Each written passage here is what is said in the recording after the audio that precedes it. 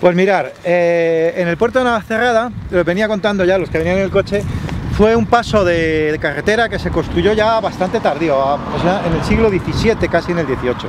Hasta entonces usaba el puerto de la Fuenfría, ¿eh? desde el tiempo de los romanos. Existe la leyenda de varias calzadas romanas, bueno, la que hay como calzada romana no es romana, ¿eh? es del siglo también XVII. Pero sucedió bueno, que para ir al, Real Sitio de la Granja, que los reyes tenían ahí lugar de veraneo, pues se, construyó esta carretera porque era mejor para los carruajes. Bueno, ya de antiguo, y en esta ladera que estamos, había también pozos de nieve. De hecho, yo estoy examinando pues, que hay restos de construcciones y demás por esta ladera que es cara norte, ¿eh? Y también de tiempo de los árabes, pues había por esta zona, había aprovisionamiento de nieve y demás, y sobre todo pues con este lugar de veraneo. Aquí el primero que vino a Balsaín fue Felipe II, se hizo un pabellón de caza en Balsaín, no en la granja, que luego eso sufrió unos incendios y demás, y a raíz de eso ya los Borbones construyeron el actual Palacio de la Granja, que es muy parecido, es un pequeño Versalles, si lo habéis visto alguna vez, los jardines son gratis, se puede dar una vuelta por allí, pues tiene su gracia, es bonito. Bueno, pero volvemos al puerto de Navacerrada. El puerto de Navacerrada los primeros usos eh, turísticos recreativos no fueron en el puerto de Navacerrada, fueron en el Ventorrillo. De hecho, eh, nevaba bastante más y donde se, ya se esquiaba perfectamente era en el Ventorrillo. Y además ahí se dieron concesiones para construir chalecitos, los hotelitos que se llamaban entonces. En Cataluña se le llama torres, aquí por Madrid lo llamamos hotelitos. Lo sigue llamando hotelitos. Bueno, pues por eso, porque tendrá tradición, transmisión oral. Bueno, pues luego ya se empezó a promover el puerto de Navacerrada y se construyó el ferrocarril. El ferrocarril era una concesión privada, eh, en, los años 20, hasta, hasta después de la guerra los ferrocarriles solían ser privados y ahí se empezó a hacer ese ferrocarril que además la intención era que en cada estación, en cada apeadero, se hiciera una colonia de hotelitos. O sea, que fijaros que hubiera todo en el... estaba el, esto del Ventorrillo, pero estaba también Camorritos, bueno, montones, no sé qué, había un montón de, apeaderos y todos tenían su colonia de hotelitos, hasta el puerto de Navacerrada. ¿Qué sucede? Que esos hotelitos eran en concesión porque todo el valle de, Navacerrada y Cercedilla son montes públicos, son montes propiedad del pueblo y que no se pueden enajenar así como así. ¿eh? Están en el catálogo de montes de utilidad pública, están protegidos y no se pueden vender, se pueden arrendar o se pueden conceder. Así fue el chale de Peñalara. El chale de Peñalara es una concesión. Sabéis que ha habido ahí mucho conflicto, ¿no? que se ha intentado cambiar y convertir en un hotel. Entonces eso es ilícito, porque la concesión se da en unas condiciones que además suele ser para uso privado del concesionario, no suele ser para uso público, no puede entrar cualquiera. ¿eh? Y el chalet de Peñalara así le pasaba, tenía una concesión para socios del Club Peñalara, pero al transmitir la concesión a un particular quería, y querer hacer un hotel de entrada pública, eso ya conculca la concesión y la concesión puede revertirse, puede devolverse, puede anularse.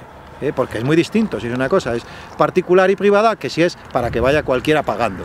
¿eh?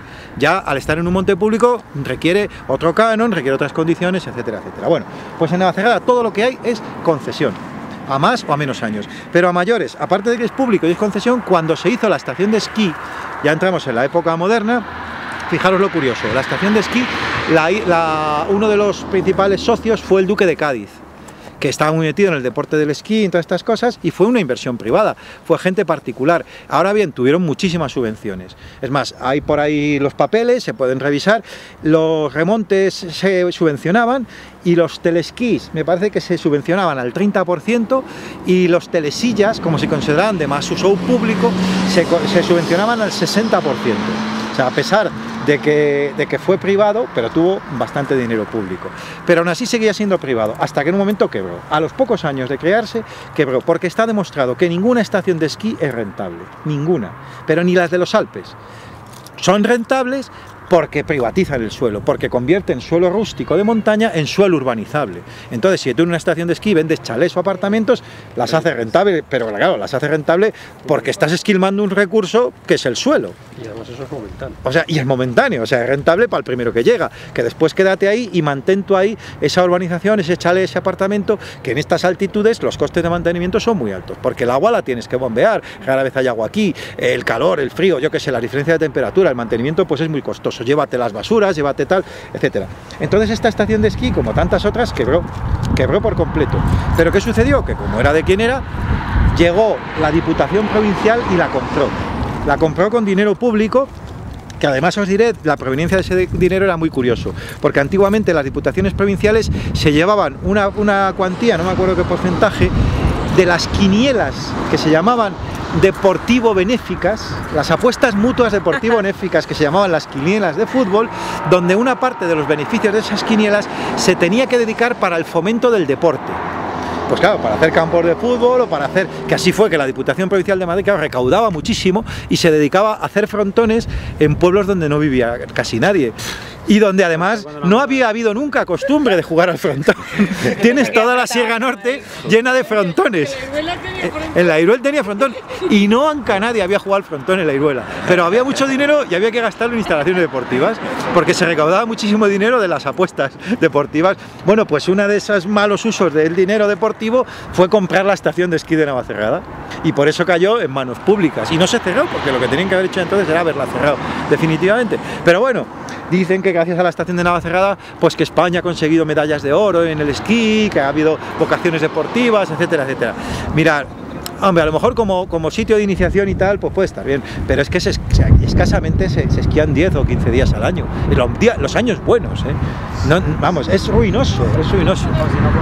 Es lo mismo. La gente, la gente verdaderamente deportista se va a esquiar al Pirineo, se va a esquiar a otros sitios donde la nieve está garantizada, donde hay mejores condiciones. Bueno, yo pondría ahí muchas comillas en lo de la nieve garantizada también, del Pirineo. También, también, también. Pero bueno, ya se pegan esos viajes. Y la posibilidad, si eres el buen esquiador de pistas que hay allí, no las tienes aquí. Sí, sí. Pues la ingente cantidad de millones que le está costando desde tiempo inmemorial el dinero público, esta estación de esquí, es para meter en la cárcel a toda esa gente. O sea, esto ha sido ruinoso desde el primer momento, ya digo, porque unos señores lo pidieron y venga, y ahora más, y ahora más. ¿Y qué está pasando ahora? Que encima ni siquiera los albergues y las instalaciones hoteleras son rentables. Porque el puerto de Navacerrada está ya tan cerca de Madrid que a nadie le cuenta venir aquí a dormir. Sí, sí, lo dije yo y ahora lo he recordado. El albergue de toda la vida... No hacer un hotel. Ahí. Ponía... No, no, pero eso es el hotel. Eso, el es, hotel. Un, eso es un refugio de frente. Eso que está quemado, que está hecho polvo. Sí, ese, ese, lo están, ese ahora dicen que lo están rehabilitando. Sí. El, el, albergue está antes. El albergue está encima del talud. Y otro que está un pelín mejor. A la derecha. Han ido precisamente a rehabilitar el que peor estaba. O sea, porque ese, ese sí, el, es, el, que mejor está está más arriba. Eso es, eso pues es. es. que yo pensé que ese estaba casi que bien. No, eso ese, ese está abandonado también, pero porque es ruinoso mantenerlo. Ese además lo ha, lo ha devuelto la Comunidad de Madrid. Se, a ver, a ver, como todo esto, bueno, ojo, que esto tiene más problemas.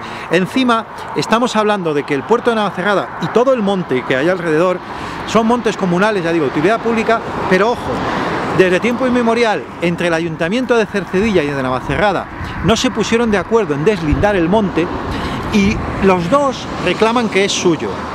Que ahí es donde viene también ese vacío jurídico que ha permitido que aquí se hiciera lo que le diera la gana a cada uno. Porque lo que no te daba permiso el Ayuntamiento de Cercedilla te lo daba permiso el de Navacerrada. Es más, aún todavía se pelean por el, por el sitio y cuando el Cercedilla pone término municipal de Cercedilla, llegan los de Navacerrada y le arrancan el cartel.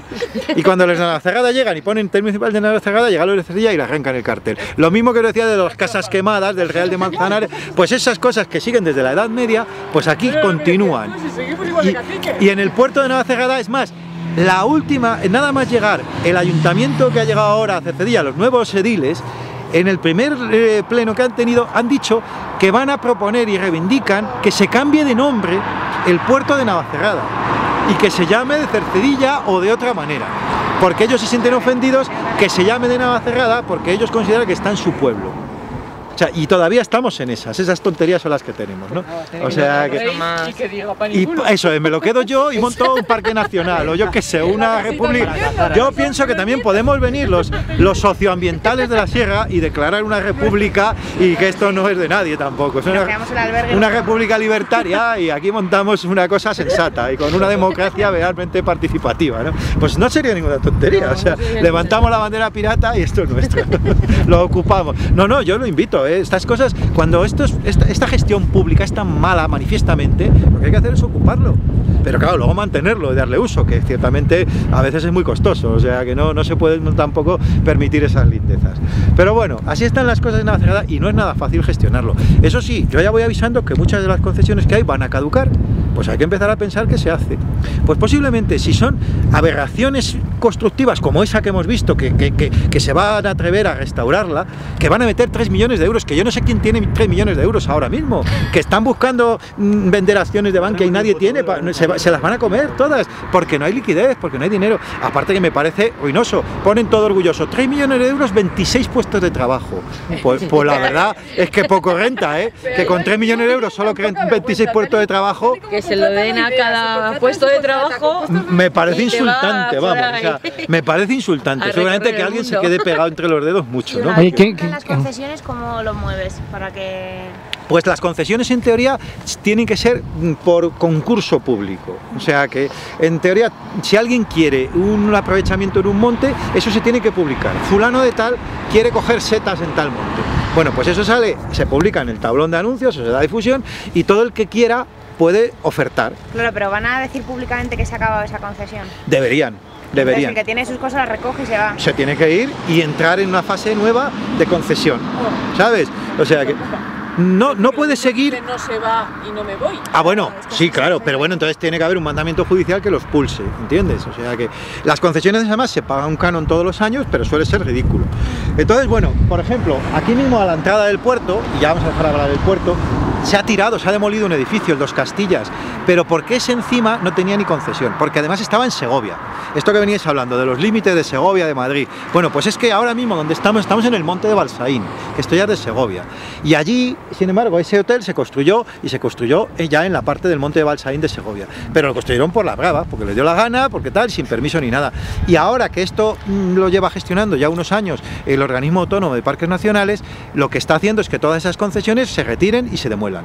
¿eh?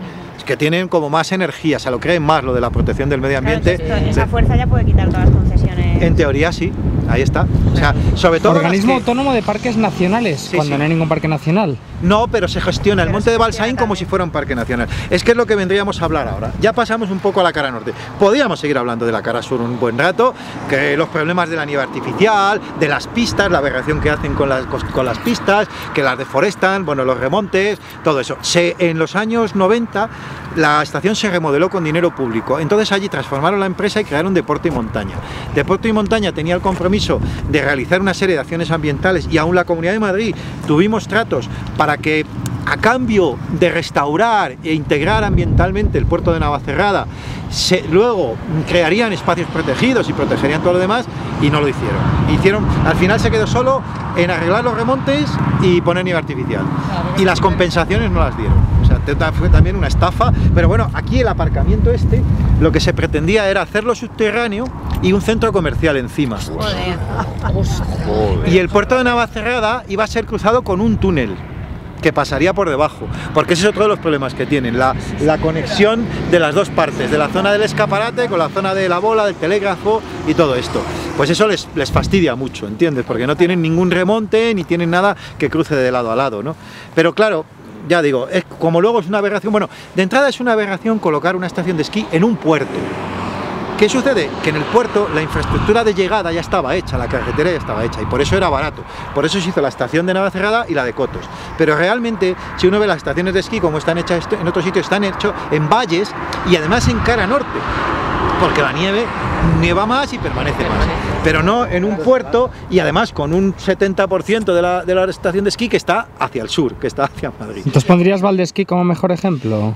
dentro de lo malo es mejor que Navacerrada y que Cotos. O sea, si hubiera que hacer en Madrid alguna estación de esquí, Valdesquí es la menos mala, a ver, mm, la menos mala deportivamente y pluviométricamente. Mm, También es una aberración.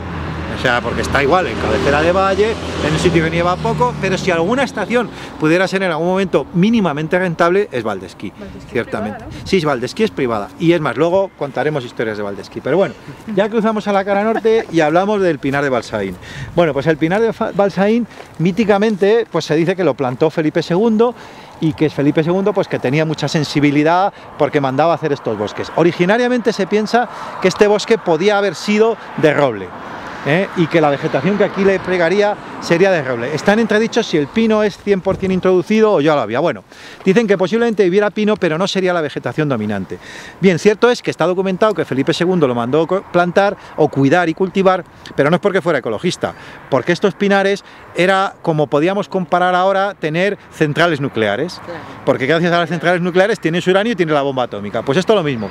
Había que tener bosques, porque estratégicamente es con lo que tú construías barcos y con lo que podías tener una flota con lo cual hacer y mantener un imperio y comerciar y demás. O sea, el país que no tenía bosques no podía tener barcos y demás. Los mm, árboles más centenarios, los mejores bosques de España están en el fondo del Atlántico. En la Armada Invencible y en todo eso, pues gastamos ingentes cantidades de madera, porque no toda vale, o sea, aquí se, se desperdía mucha, y hasta finales del siglo XIX muchísimos bosques los gestionaba la Marina. Es más, había almirantes de bosque que cuando se jubilaban del mar, del barco, se les delegaba, eh, o sea, los primeros ingenieros de monte fueron almirantes, fueron ingenieros navales, ¿eh? que decían hay que cuidar estos árboles y criarlos de esta manera porque este, bar, este, este árbol vale para esta pieza del barco y este para otra. Y de hecho, los eh, pinos de Balsaín, el pino silvestre se usaba como mastelero, se cotizaba muchísimo para los mástiles de las velas. Crecen muy rectos tienen mucha resina, son imputrescibles, aguantan mucho la, humedad y eran muy cotizados como mástiles. ¿eh? Y por eso esos pinos centenarios que se crían en este, en este pinar, que es de los mejores de España en cuanto a madera de, este tipo del pino silvestre. ¿eh? Bueno, pues eso era Felipe II. Felipe II era un militar, era un visionario que lo que quería era tener ese recurso de, de madera. Y bueno, pues en el pinar de Balsaín ya pasando un tiempo se usaba sobre todo como zona de caza, bueno, tiene muchas historias, pero ya viniéndonos a la modernidad, contaros que en los años 70, en la dicta blanda, ya cuando murió Franco, hubo en la época de la transición, mucha gente que veía que se caía el régimen y se le caía el chollo, porque iban a, verse que las cosas iban a tener que hacer con más transparencia, la democracia empezaba a poner las cosas en su sitio, les pintaban mal, pues hubo muchos golpes de, de intentos especulativos y de tal. Y uno de ellos fue aquí, en este pinar que veis tan maravilloso, construir un embalse el 20 el 30% de este valle hubiera quedado inundado. En los asientos, en la parte baja, eh, por debajo de la boca del asno, antes del pueblo de Balsaín, ahí estaba previsto en el 76, se quiso construir un embalse que iba a tener un, un muro de 40 metros de alto. La carretera actual hubiera quedado inundada, hubieran tenido que hacer otra carretera nueva a más altura, porque querían un embalse para dar agua a Segovia. Segovia tenía que crecer, había que hacer un embalse, etcétera, etcétera.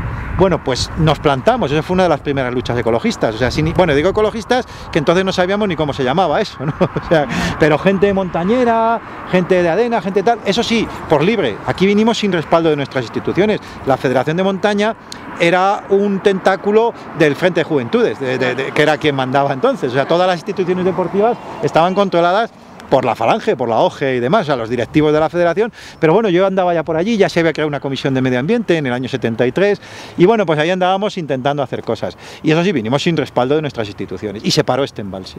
Hicimos acampadas, les, quitamos los mojones, les estropeamos la obra, nos perseguía la Guardia Civil por dentro del Pinar, y así estuvimos un fin, un fin, sí, sí, un maquis, totalmente, o sea, es que es lo que hay que hacer, es lo que hay que llegar, o sea, a ver, sin violencia, sin matar a nadie, pero vamos, yo propongo, el ecotaje es lícito, es es éticamente... Vamos, os puedo, os puedo, pues os puedo contar, ahora que ya he prescrito, os puedo contar una docena de acciones que tuvimos por la sierra en aquellas épocas, ¿eh? o sea que, así que algunas, pero curiosísimas, nos lo pasábamos en grande. Bueno, pues ese embalse se paró, ese embalse se dijo, no pueden talar pinos de 500 años que iban a talar. Claro, ¿qué sucede? Esa madera de esos pinos se le iba a llevar gratis porque como iban a hacer un embalse y se iba a echar a perder, pues o alguien, o sea, ahí va a repartir dinero, eh, gente corrupta del patrimonio nacional, maderistas, no sé qué y tal. O sea, en realidad y además el negocio era, era ese, hacer el embalse, ¿no? O sea, si luego valía o no valía ya se vería. Al final el embalse se hizo, pero aguas abajo de la granja que es el agua un poco más sucia y demás, y eso sí, Segovia ha tenido que abastecerse de agua de pozo durante mucho tiempo. O sea que, pero bueno. ¿El agua del pozo? De agua de pozo, de agua de, de acuífero, o sea que pero es de calidad, no, no tiene ningún problema. Claro, lo que pasa es que Segovia, fijaros que hasta bien entrado el siglo XIX, se abastecía todavía del acueducto, que se coge aquí, o sea, el acueducto empieza aquí en el Pinar de Balsaín también, O sea que el canal que luego va, y como era tan caudaloso y tan abundante, Segovia ha estado muchísimos siglos abasteciendo del agua del acueducto. O sea que ese monumento que se ve ahí, tan maravilloso, bimilenario ya, es que tenía uso. Es que, es que lo más curioso de todo eso es que hasta hace bien poco ha llevado agua. O sea que ya se, qui- se quitó el agua porque estaba mm, perjudicando, tenía muchas fugas y demás. Bueno, que casi seguimos, ¿no? Porque si contamos, seguimos contando aquí más cosas, ya nos damos la vuelta y lo dejamos, ¿no? Queríamos hacer otra parada, por lo menos